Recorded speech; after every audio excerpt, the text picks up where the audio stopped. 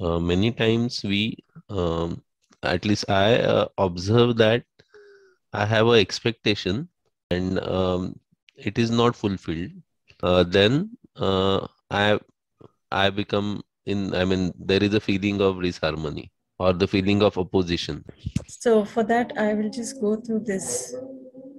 Now, if you see the lower chart here, right? The B1 block, I am not really aware of it most of the time. I don't usually refer to my natural acceptance. Occasionally I do.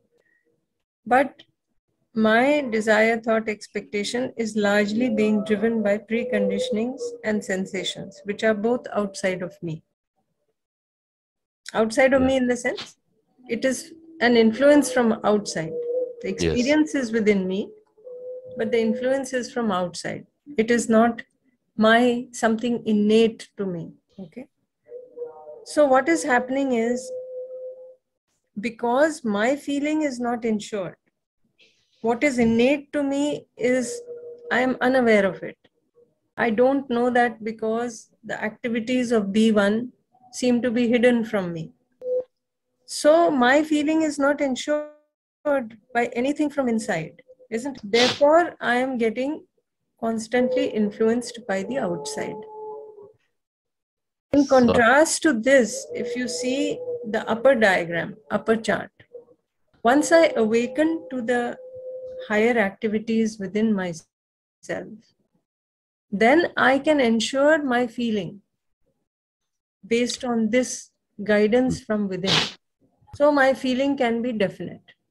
Now, whatever may be influenced from outside, it doesn't matter because my feeling is ensured based on the higher activities within me.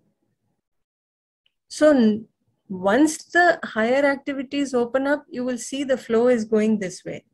Until the higher activities, I'm awakened to them, it will appear that the flow is the other way.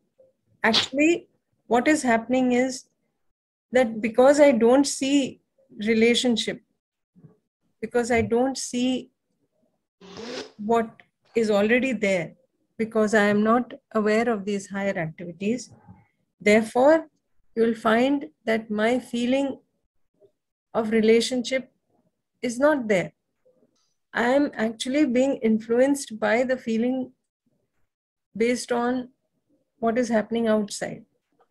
So, if things are in line with what I have assumed, then I have the right feeling. If things are not in line with whatever I have assumed, then I don't have the right feeling.